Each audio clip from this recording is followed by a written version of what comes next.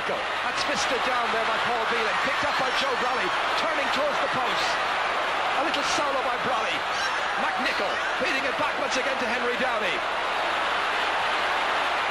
Outside it goes towards Johnny McGurk. McGurk.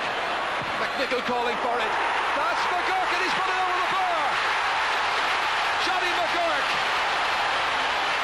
A name that is synonymous with great football in County Derry. They've given such great service to McGurk family, to Lavey teams and Derry